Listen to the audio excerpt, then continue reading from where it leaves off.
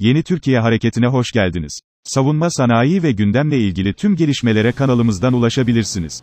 Bize destek vermek için videoyu beğenip kanalımıza abone olmayı unutmayın.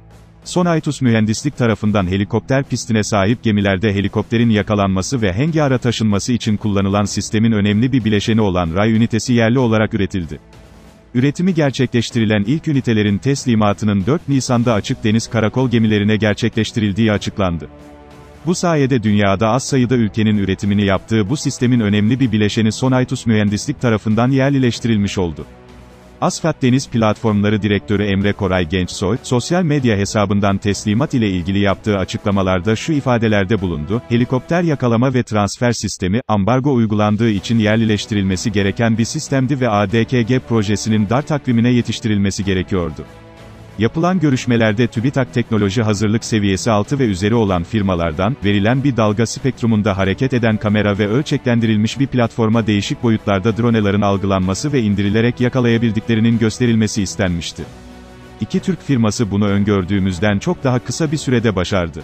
Bir de herkesin tereddüt ettiği, dünyada sadece iki ya da üç ülkenin ürettiği için bizim üretemeyeceğimizin düşünüldüğü ray sistemi vardı. Yapılan metalurjik çalışmalarla yaklaşık 3 ay içerisinde raylar Türk Lloyd'u tarafından sertifikalandırılmış halde, çok daha uygun bir geometride yapılarak diğer testler için hazır hale getirildi.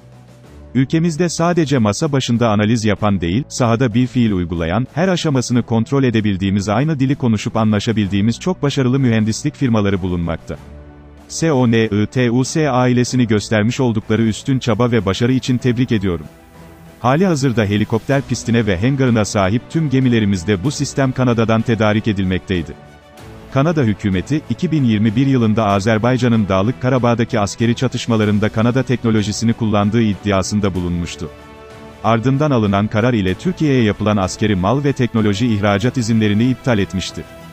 Kanada Dışişleri Bakanı Mark Garneau konu ile ilgili şu ifadelerde bulunmuştu, Türkiye'ye ihraç edilen Kanada teknolojisinin Dağlık Karabağ'da kullanıldığına dair güvenilir kanıtlar bulan bu incelemenin ardından, bugün, 2020 sonbaharında askıya alınan izinlerin iptalini duyuruyorum, helikopter yakalama ve transfer sistemi geminin helikopter pistine iniş yapan hava aracının, helikopter ya da insansız helikopter, sabitlenmesi ve herhangi bir müdahale olmadan hengara çekilmesi için kullanılan bir sistemdir.